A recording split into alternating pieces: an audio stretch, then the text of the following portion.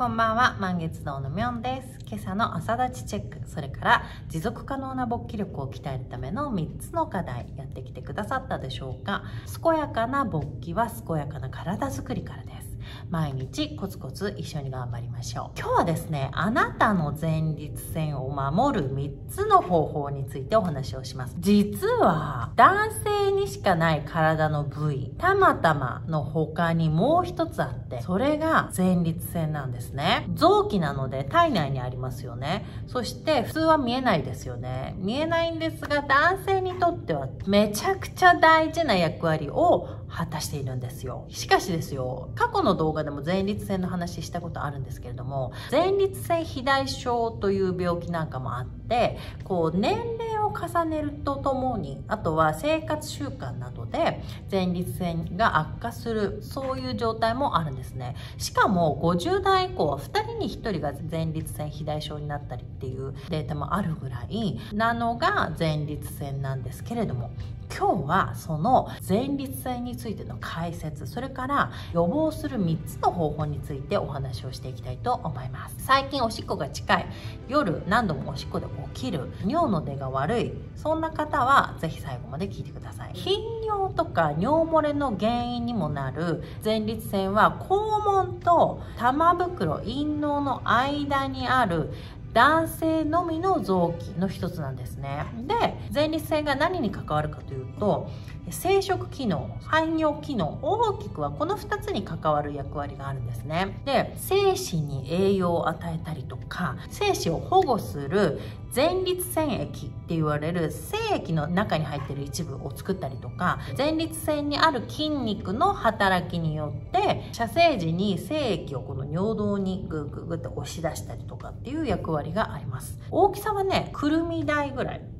本来はねこれぐらいなんですね。じゃあ前立腺肥大症って何だったっけ？ってこれおさらいなんですけれどもくるみぐらいの大きさの前立腺が大きくなるとみかんぐらいまでになってしまうっていう症状なんですね。症状大きく3つに分かれます。排尿尿を出すことに関連する症状。それから蓄尿尿を溜めることに関連した症状。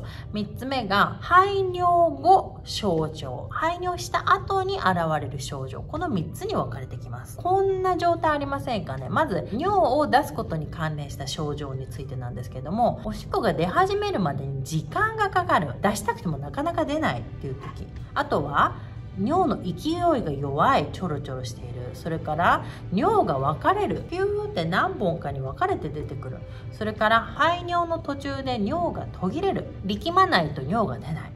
こんな症状ありませんか？これが尿を出すことに関連する症状です。じゃあ次尿を溜めることに関連する症状なんですけれども頻尿である。朝起きて寝るまでに8回以上とか頻繁に尿意を催すっていう状態ですね。それから夜間頻尿。寝た後に1回以上起きる。それから尿意切迫感といって急に我慢できないような強い尿意が起こるっていう状態が尿を溜めることに関連する症状です。で3つ目の排尿した後に現れる症状なんですけれども残尿感なんかできてないなっていう残尿感。それからおしっこした後にポトポトポトポトって尿が漏れてしまう。これらがあります。こういう症状があると前立腺肥大症かもしれないっていう感じなんですね。でもしこれらの症状気になるなっていう方はですね今すぐ様子を見ずに泌尿器科に行ってみてください。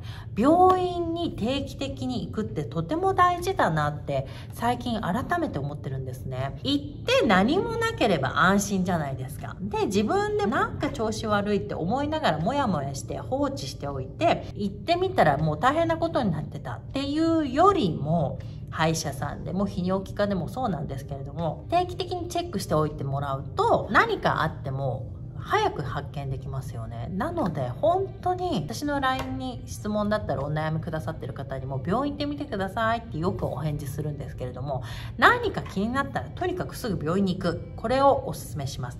行って何もなかったなって安心する。そして行って何かあったとしても早い段階で治療がスタートできます。病院は定期的に通ってください。はい。じゃあ前立腺を守る3つの方法についてお話をしていきたいと思います。1つ目長時間の座りっぱなしをやめるっていうことなんですね。長時間の座りっぱなし勃起力にも良くないですよって動画もね以前出してるんですけれども。長時間椅子に座りっぱなしとかあと自転車とか自動車の運転も長時間座っているとですね下半身の血流が滞りますよね。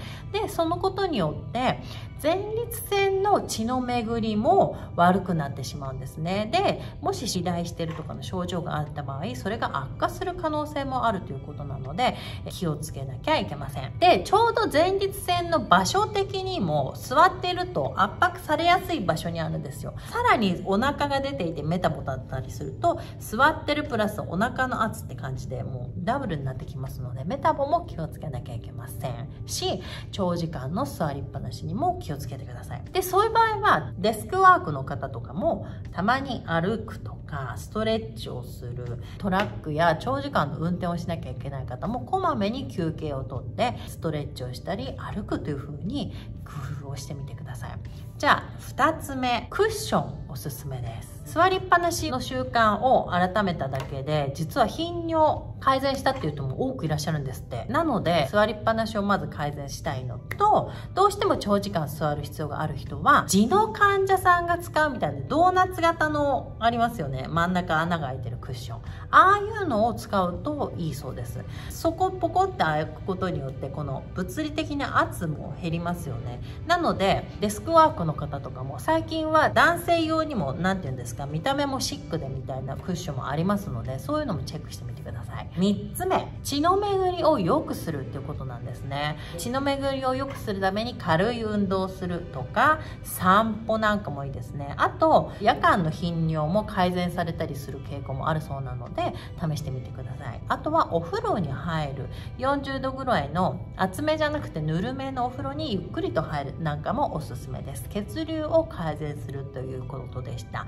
以上があなたの前立腺を守る3つの方法でした。前立腺は精子を作るためにとっても大事な場所です。それに男性しかない部分なのでご自身で気をつけていくっていうことがとっても大事になってきます。ただし座りっぱなしとか血流が悪くなったりっていう条件の方もたくさんいらっしゃると思うんですね。なので日々の注意が必要になってきます。で日々ちょっとずつ気をつけたりとか座りっぱなしをなくすことで頻尿が改善されたりというモデルもありますので今日からできることからまずやってみてください。塗る前に使っったり歩いたり血流を良くする。っていう方法が効果的です。今日はあなたの前立腺を守る3つの方法についてのお話でした。最後に持続可能な勃起力を鍛えるための3つの課題についてお話をします。1つ目が運動です。筋肉を鍛えることによって男性ホルモンも高まりますし今日の前立腺の予防にも良かったりするので是非毎日行ってください。